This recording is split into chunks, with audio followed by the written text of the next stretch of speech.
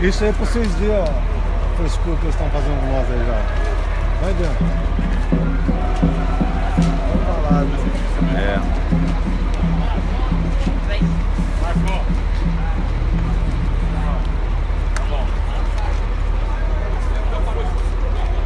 E aí?